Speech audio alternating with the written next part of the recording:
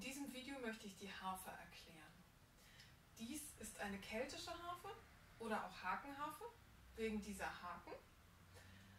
Und das ist eine Konzertharfe, die heißt auch Doppelpedalharfe,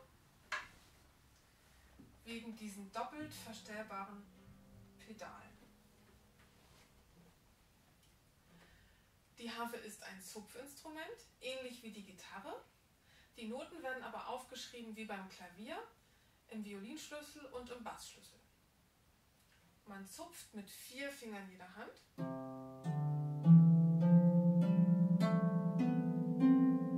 Die kleinen Finger sind zu kurz, die spielen nicht mit. Damit man sich auf den ganzen Seiten zurechtfindet, haben sie verschiedene Farben.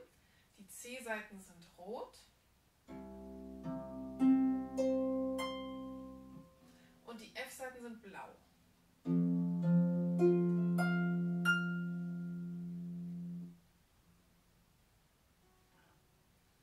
einen Halbton zu verstellen, muss man diese Haken hier bewegen.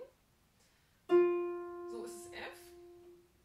Der Haken oben ist Fis.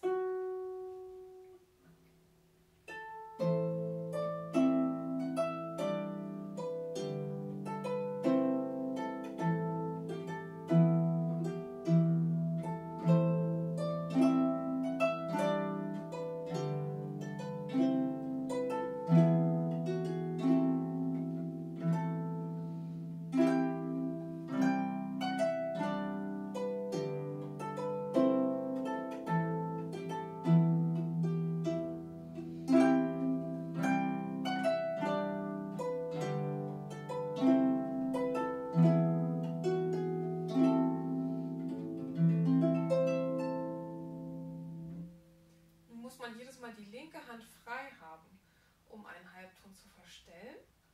Deswegen wurden irgendwann Pedale für die Füße erfunden, damit man das machen kann, während beide Hände spielen. Jetzt steige ich um an die Konzertharfe. Da habe ich sieben Pedale, für jeden Ton eins kann den Ton immer in zwei Richtungen verändern. Ganz oben ist das Pedal in der B-Stellung. Jetzt nehme ich das C, das ist dann ein Cess. Dann trete ich es runter in die neutrale Stellung, dann ist es ein C.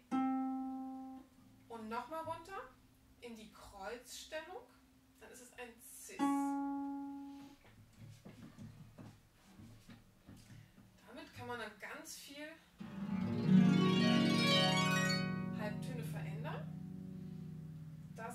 Das über die Seiten nennt sich Glissando. Im Orchester wird die Harfe oft zum Zaubern eingesetzt, zum Beispiel im Nussknacker von Tchaikovsky.